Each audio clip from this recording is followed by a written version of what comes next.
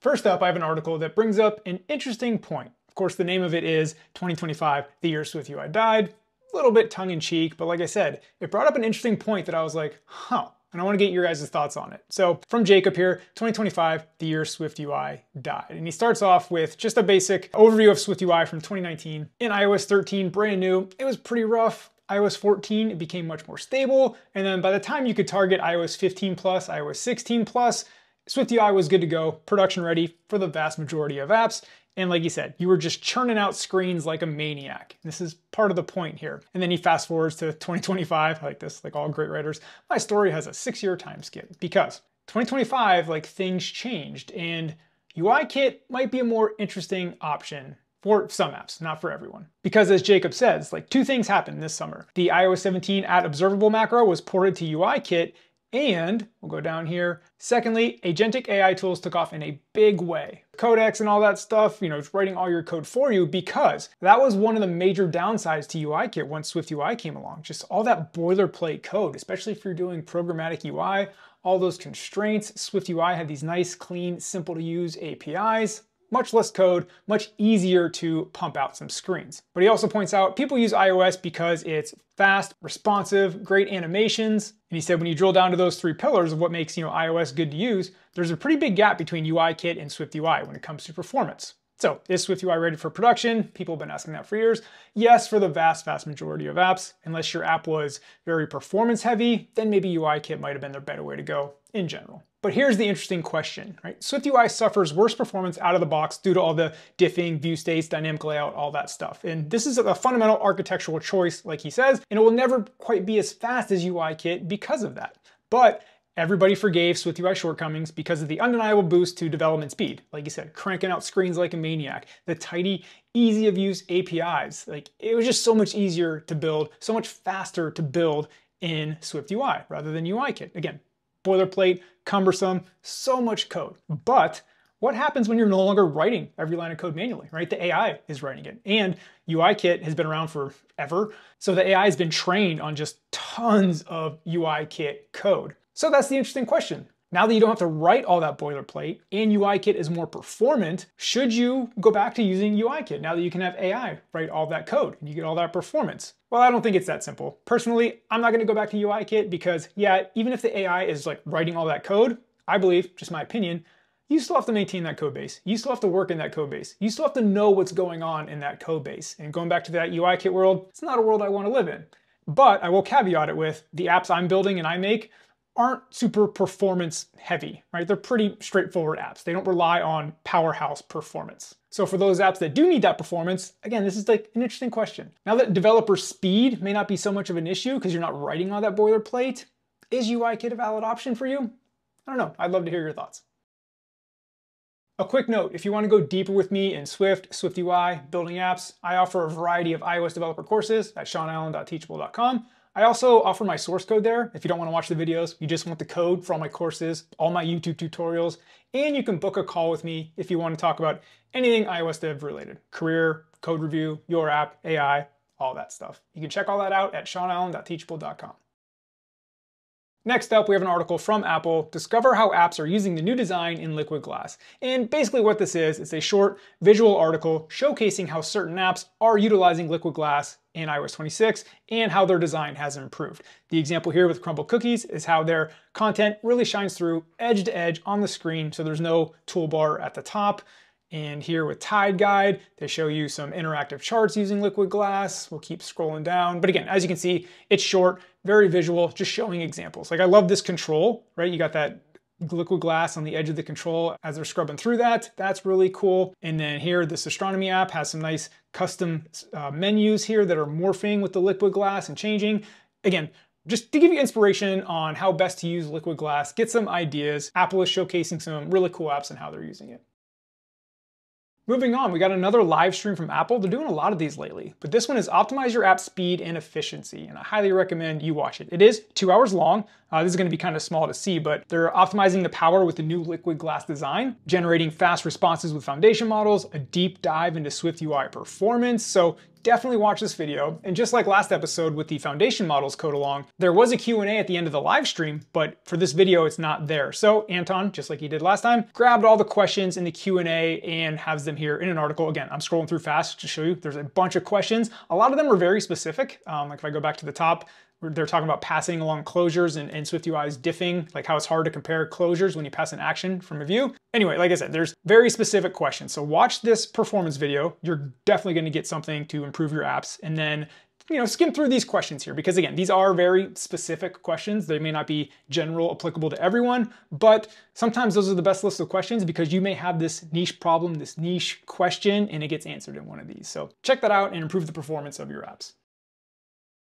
Next up, we have the 2026 Swift Student Challenge. And if you're not familiar with this, well, submissions are open February 6th to the 28th, so start working on your apps, get them ready to submit.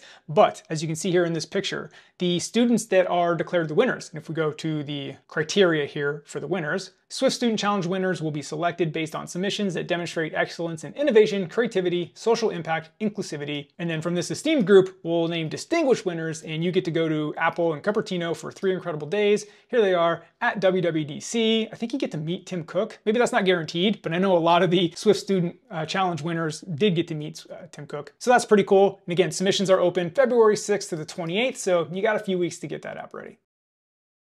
Next, we have an article from Daniela here, Indie Alone and Figuring It Out. And this just, this hit me in the feels. This is my life.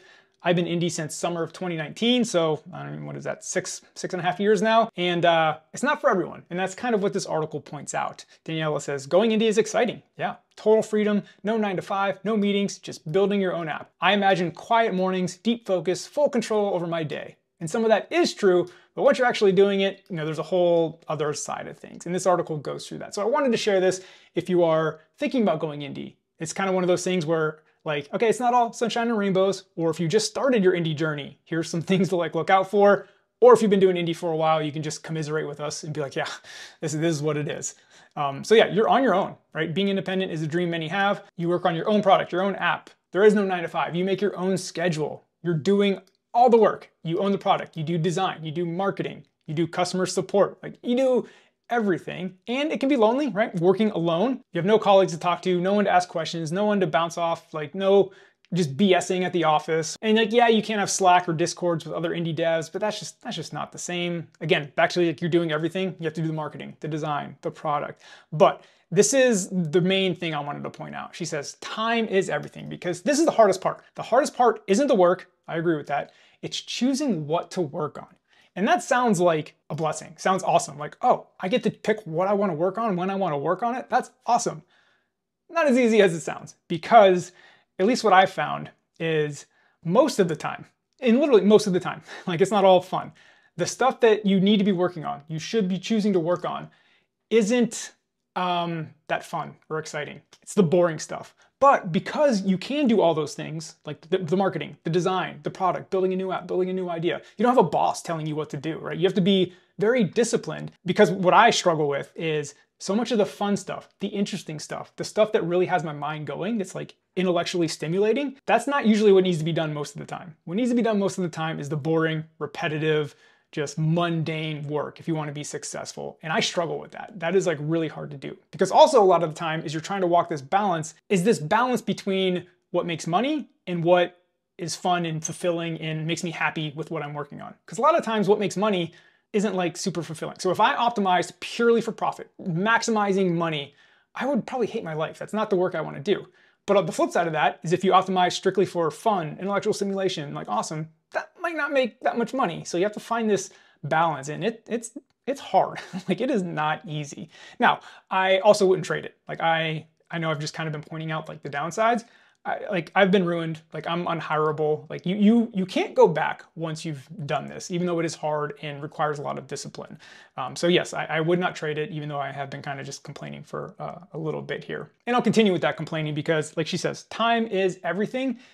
Because what's nice about the nine to five is like you go do your job, whether it's in an office or remote, you clock in, you clock out. And when you clock out, like now your time is yours. Like you can work on your own side projects, you can go play sports, you can play video games, do your hobbies, hang out with your family. Like you can shut your brain off from, from work most of the time. When you're indie, like you do, it just never shuts off. Like you're, there's always something you could be doing. You always feel behind. You always feel like you're not using your time wisely.